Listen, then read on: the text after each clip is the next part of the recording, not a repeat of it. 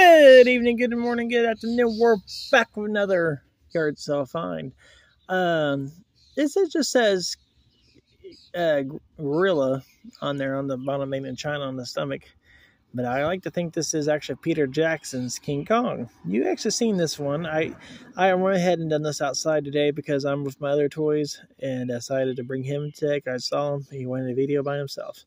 Since I have over 2,000 subs now, now I have 2,323, 26 subs, sorry, the time I'm making this video. Uh, thank you guys for following me. This is, uh, see the one there says 2017 uh, Gorilla, which is around the same time I believe that pre uh, Peter Jackson's, no, it didn't come out at the time. Uh, I don't know, I, I can't remember.